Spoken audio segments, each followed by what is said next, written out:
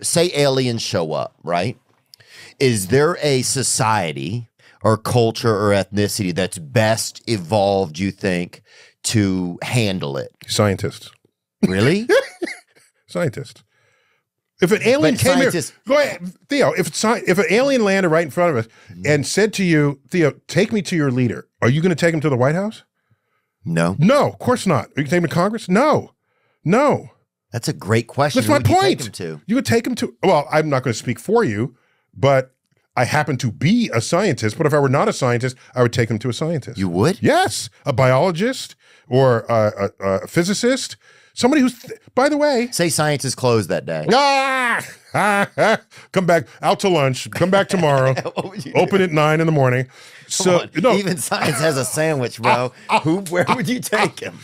you speak of science like it's the one dude behind the counter, behind the lunch counter.